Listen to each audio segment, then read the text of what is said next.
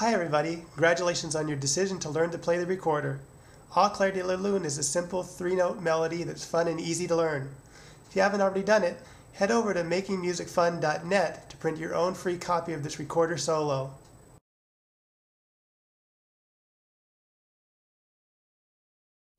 To play Au clair de la lune, we have to learn three notes. The first one and the easiest one is B. You play it by placing your thumb over the back hole and then your index finger over the top hole. Make sure to cover them all the way, otherwise funny sounds come out. Let's try it out. Listen to it first. Now you try it. Ready? Play. Let's try it one more time. How'd you do? Great. Okay, the second note we learned to play is A.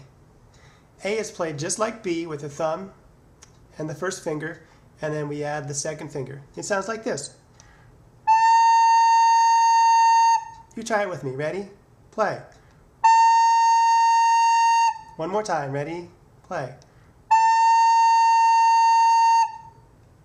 Okay, the last note we need to learn is G. G is played with a thumb in the back, first finger, second finger, and third finger. Sounds like this.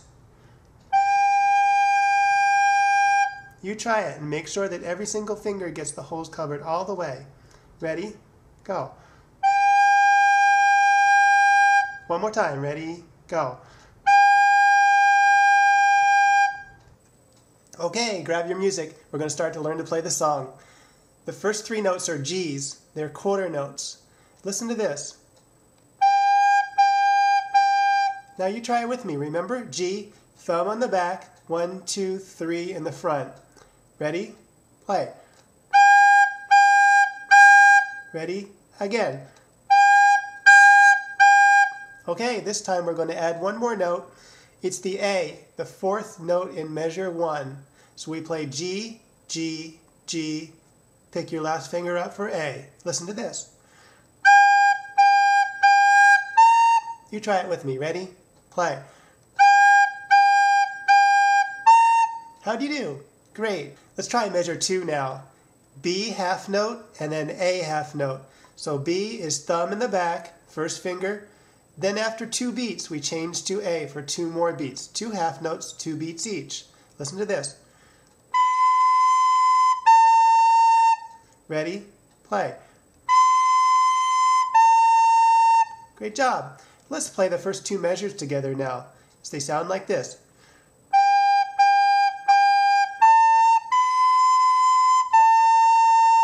Okay, it's your turn to try it. Here we go.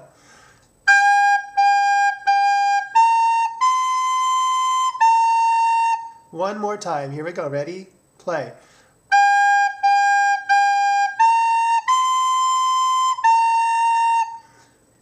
Okay, let's move on to measure three. Measure three has four quarter notes in it also. It has a skip moving from G, three fingers in the front and thumb in the back, to one finger in the front and one thumb in the back, B. So it sounds like this. We're just going to try two quarter notes. Picking up these two fingers right here. Let's try G and B together. Two quarter notes. Ready? Play. Again. Go. The next two quarter notes are A's. They sound like this. You try it. Ready? Play. Together they sound like this. You try it. Ready? Play. Good job. Let's try it one more time. Here's the fourth measure. It's a G, and it's a whole note, four beats. Listen to this. You try it. Pretty simple, huh? Ready? Go. Good job. Try it again. Ready? Play. All right, let's try measure three and four. Four quarter notes and then ending with a whole note G for four beats. Listen to this.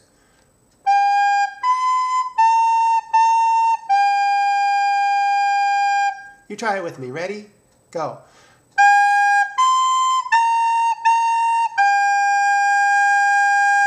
Great job. Okay, I think we're ready to try the whole piece.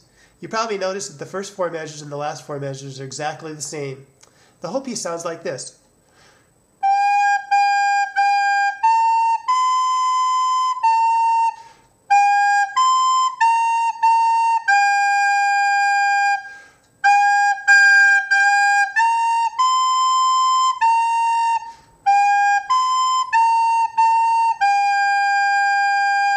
Okay, you try it with me. Here we go.